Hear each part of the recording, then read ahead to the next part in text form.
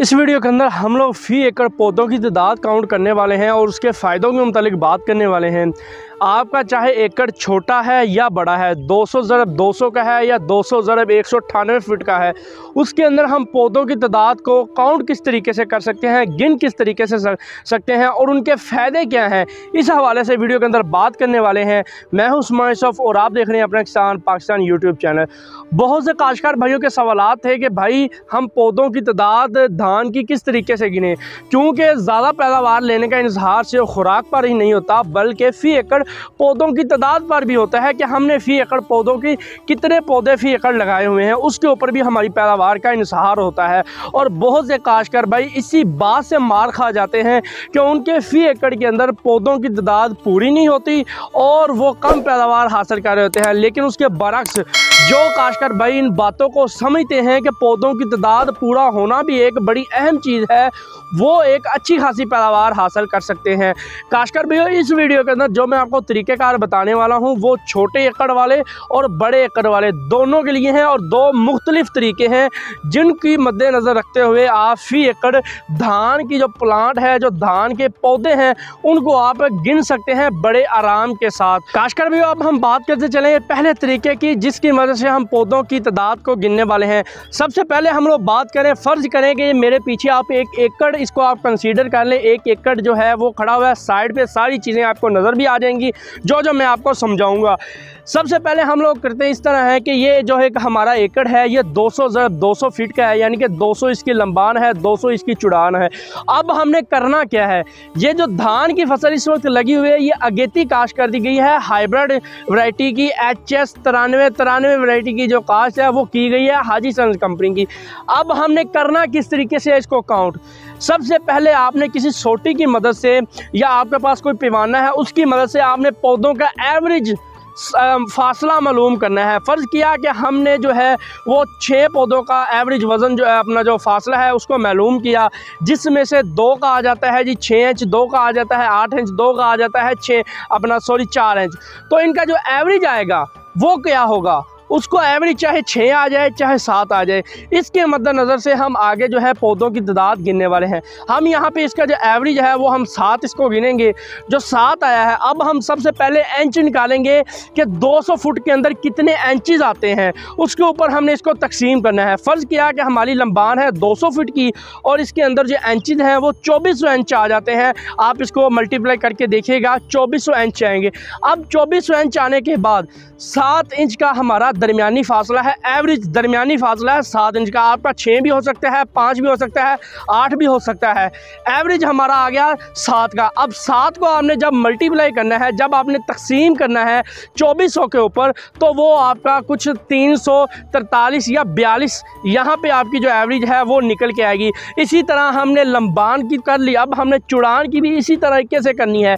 चौबीस हमारे इंचज़ होंगे, चौबीस को जब हम सात पे तकसीम करेंगे तो जो हमारा एवरेज निकल के आएगी वो तीन सौ बयालीस या तरतालीस होगी। तीन सौ बयालीस अगर निकल के आती है या तीन सौ तरतालीस अगर निकल के आती है तो जब आप तीन सौ तरतालीस बटा तीन सौ तरतालीस को ज़रब करेंगे आपस के अंदर तो वो जो आपका जवाब निकल के आएगा, एक लाख सतारह हज़ार छः सौ उनचास पौधे फ़ी एकड़ आपके निकल के आएँगे। इतने पौधे आपके एक एकड़ के अंदर होंगे, अगर आपका दरमियानी फासला सात इंच होगा। अगर आपका एक एकड़ जो है वो आठ कनाल, अठारह मरले का होगा तो ये आपकी एवरेज निकल के आएगी। अब आपने इसके बरक्स, जिन काशकार भाइयों के एकड़ छोटे हैं, यानी कि 200 ज़रब, एक सौ अठानवे के हैं, उन्होंने भी इसी तरीके से इसकी कैलकुलेशन करके इसको निकाल लेना है। एक तो हो गया तरीका ये। दूसरे तरीके की अगर हम बात करते चलें, वो होता है एक मुरबा फिट। कि हमारे एकड़ के अंदर कितने मुरबा फिट हैं? और एक मुरबा फिट के अंदर कितने पौधे हैं? ये तरीकाकार है दूसरा। सबसे पहले हम लोग बात करते चले एक एकड़ के मुरबा फिट की। दूसरा ये कि अगर आपका एकड़ दो सौ बीस जरब एक सौ अठानवे का है। तो आपके एकड़ के अंदर जो मुरबा फिट होंगे वो तरतालीस हज़ार होंगे। तरतालीस हज़ार मुरबा फुट होने के साथ साथ जब आप इसको मल्टीप्लाई करेंगे यानी कि आपके एक मुरबा फिट के अंदर दो पौधे आ जाते हैं या तीन पौधे आ जाते हैं हम यहाँ पे दो पौधों को कंसीडर करेंगे दो पौधों को गिनेंगे। आपके मुरबा फिट के अंदर चार पौधे भी हो सकते सकते हैं पाँच भी हो सकते हैं दो भी हो सकते हैं तीन भी हो सकते हैं। हम यहाँ पे एक मुरबा फीट के अंदर दो पौधों को गिनने वाले हैं। हमारे एक एकड़ के अंदर जो मुरबा फीट है वो तरतालीस हज़ार है और एक मुरबा फीट के अंदर दो पौधे हैं। तो तरतालीस का आप तर, दो पे जब तकसीम करेंगे तो वैल्यू जो निकल के आए वो छियासी हज़ार होगी। यानी कि आपके एक एकड़ के अंदर अगर एक मुरबा फीट के अंदर दो बूटे हों तो आपके फ़ी एकड़ के अंदर छियासी हज़ार पौधे होंगे।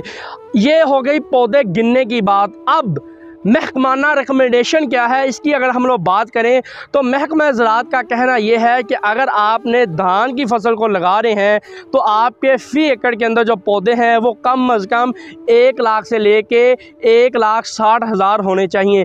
अस्सी हज़ार आपका सुराख होना चाहिए, जिसके अंदर हम पौधे को लगा रहे होते हैं, वो होता है हमारा सुराख। और आपने हर सुराख के अंदर दो पौधे लगाने हैं, ये हमारी महकमाना रिकमेंडेशन है। लेकिन अगर आप आप अपने एकड़ के अंदर एक लाख से लेके सवा लाख के दरमियान पौधे लगा लेते हैं। तो आप एक अच्छी खासी अगेती लगाई हुई धान से रिकॉर्ड तोड़ पैदावार जो है आप लोग हासिल कर सकते हैं। कभी भी पैदावार का इंसहार खादों की बुनियाद पर नहीं किया जाता, बल्कि जो पैदावार का इंसहार होता है, वो हमारी फ़ी एकड़ पौधों की तादाद के ऊपर होता है कि हमने फ़ी एकड़ कितने पौधे लगाए हुए हैं। अगर आपके फ़र्ज़ किया पौधे हैं साठ हज़ार, आपने खुराक भी बहुत अच्छी दी है है, फिर भी आप जो पैदावार है, वो एक लाख सत्रह हज़ार वाले पौधों की नस्बत कम हासिल कर रहे होंगे, क्योंकि उधर पौधों की तादाद ज़्यादा है। चाहे वो बंदा खुराक थोड़ी सी कम भी इस्तेमाल करेगा, लेकिन फिर भी वो एक अच्छी खासी पैदावार हासिल कर सकता है। अगर आप जितनी ज़्यादा पैदावार इस्तेमाल कर लेंगे और आप जो है, पौधे कम होंगे आपके फ़ी एकड़ तो आप भी कम पैदावार हासिल कर रहे होंगे। अब जो है, वो इसके अंदर हवा का, गुज़र का बड़ा मसला होता है। आपने सिर्फ़ हवा के गुज़र की जगह छोड़नी है। बाकी आपने प्लांट की पॉपुलेशन को आपने फ़ी एकड़ पूरा करना है। अगर आप ये काम कर जाते हैं तो यकीन करें काशकर भैया आप सौ मन से ज़्यादा पैदावार हासिल कर लेंगे धान की फ़सल की। तो ये है इसका तरीक़ाकार दो तरीके मैंने आपको बताए हैं, जिसकी मदद से आप फ़ी एकड़ पौधों की तादाद को गिन सकते हैं।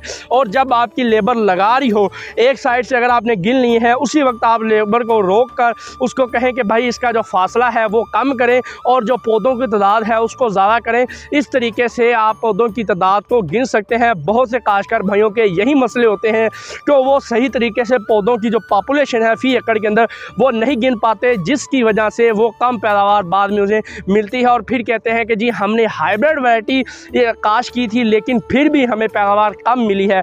तो कभी भी पैदावार का इंसार सिर्फ़ खादों की बुनियाद पर नहीं होता, बल्कि फ़ी एकड़ पौधों की तादाद के ऊपर भी होता है।